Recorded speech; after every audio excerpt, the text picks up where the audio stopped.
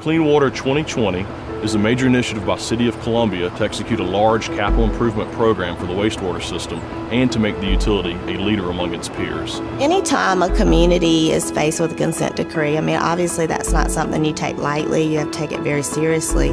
But I'm very proud of our staff in recognizing that not just because of the consent decree, that we wanted to take it a step further and question ourselves on how can we do things even better. Smarter infrastructure is really being able to use a lot of the more modern tools and data that's available now that, that wasn't available, you know, one or two decades ago. The key to smarter infrastructure is being able to link together all these pieces of information that we now have in a way that you can make effective decisions based on what the information is telling you.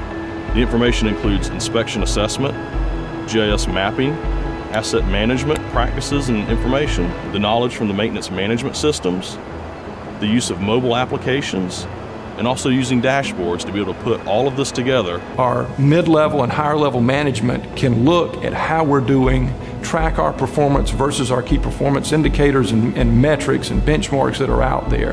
That's going to help us achieve best in class. It's real time data and it can tell us exactly how we're doing to assess our performance. We're, we're building a good base model of our system, a good base understanding of our system. That way we know where the problems are so we know we're spending money in the right place.